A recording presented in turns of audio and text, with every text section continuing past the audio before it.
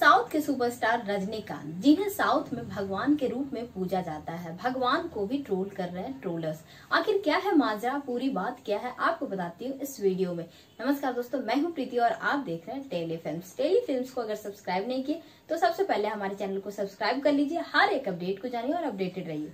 सो दोस्तों रजनीकांत साउथ के सुपरस्टार हैं और भगवान के रूप में साउथ में पूजे जाते हैं। उनकी जितनी भी फ़िल्में होती है, साउथ में हमेशा हिट मानी जाती है और हिट होती है और हिट है। जी हाँ दोस्तों, और आपको बता दूँ कि साउथ ही नहीं, ये जो इंडिया है, इंडिया में वो बहुत ज़्यादा चर्चित रहते हैं और ट्रोलर्स उनको कर दिए हैं ट्रोल। जितने बड़े उनका नाम है, जितना बड़ा वो काम किए हैं और पूरी इंडस्ट्री में उनकी बहुत चर्चा होती है। अगर उनसे कुछ भी बात होती है तो वो हमेशा खबरों में बने रहते हैं। जी हाँ दोस्तों बता दूँ कि कुछ दिन पहले ही वो कोविड का वैक्सीन लिए हैं तो ये खबर पहले आ गई थी। और कोविड वैक्सीन लेकर उन्होंने कोविड के जितने भी मरीज़ हैं, उनके लिए 50 लाख का चेक दिया है एक पॉलिटिशियन को। 50 लाख का चेक जो पॉलिटिशियन को दिया है, इस पे वो ट्रोल हो रहे हैं। रजनीकांत 50 लाख का चेक, ये उनके फैंस या फिर जो ट्रोलर्स है, उनको नहीं भाया, क्योंकि रजनीकांत इतने बड़े नाम है, इतने बड़े उनके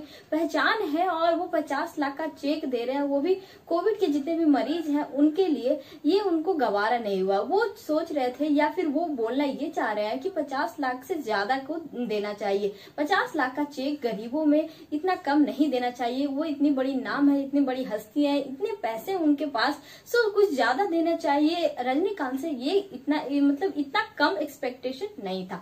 इसलिए रजनीकांत को ट्रोलर्स ट्रोल कर रहे हैं। आपको क्या कुछ कहना है? रजनीकांत के पचास लाख जो उन्होंने कोविड फंड में दिया है। नीचे दिए गए कॉमेंट सेक्शन में हमें ज़रूर बताएँ और टेलीफिल्म से बने रहे। लाइक करें शेयर करें सब्सक्राइब करना ना भूलें। Thank you